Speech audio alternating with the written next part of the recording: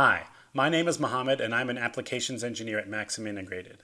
I've been working on a homemade smartwatch project and today I'm going to be talking about how to put my microcontroller in deep sleep mode to save power.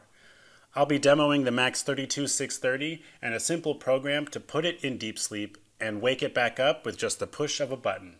Most microcontrollers have different power modes to provide users a trade-off between power consumed and functionality of the microcontroller.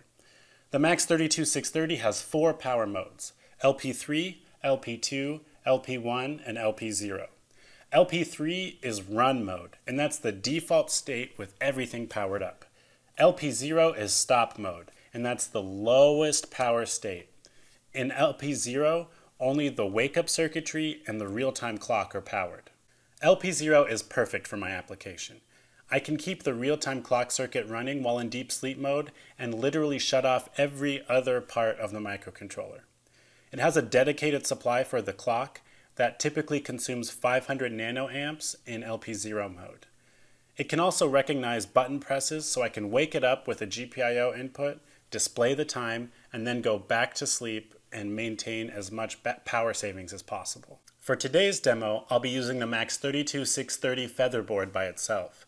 I'll be using the onboard LED to display the different power modes that it's in, as well as the onboard push button to toggle in and out of deep sleep. I'll be applying a 3.7 volt input supply to the battery input, which is a typical rechargeable lithium ion battery voltage and I'll be monitoring the total current consumed using this digital multimeter. Let me quickly describe the demo code before showing it in action.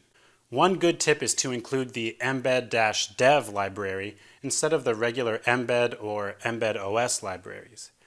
I used several functions from the mbed-dev library, which includes the source files from Maxim Integrated that provide additional functions for demo applications.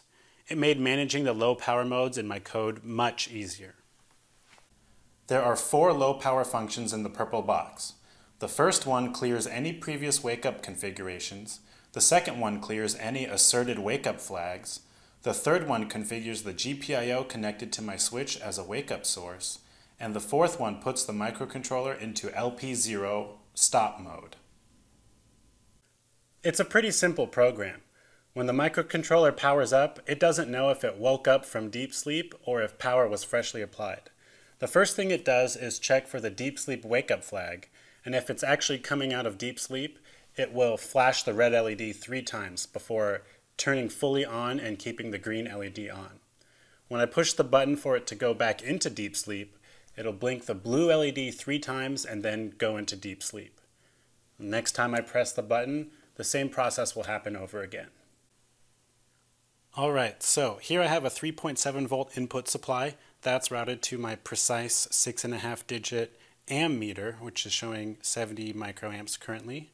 If I apply this to the battery terminal and hold down the reset button, the part powers on in LP3 mode. You saw the green LED with no blinks beforehand and about 4.4 milliamps. I press the onboard button, you see the blue blinks, and the part powers down all the way to 6 microamps. Wow. Now if I press the button again, you'll see those red blinks showing it powered up from low power mode and returns back to about 4.6 milliamps.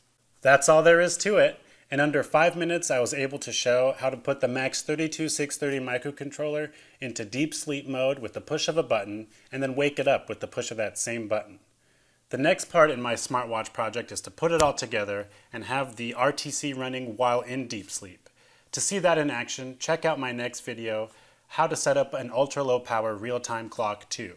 Thanks for watching, I'll see you next time.